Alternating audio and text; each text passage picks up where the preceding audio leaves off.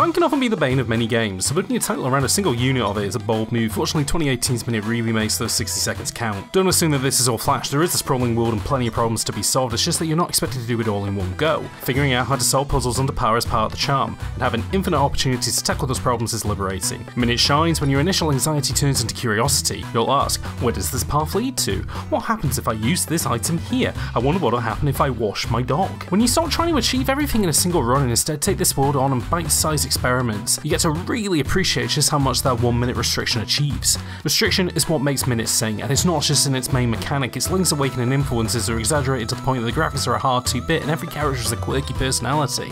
If you take your time seriously, Minute 1 was a second of it, something that I think a lot of games could take a lesson from, and just in time for its brand new mobile port, which means that you can now carry around an adventure in your pocket that you can play again and again and again and again and again and again and again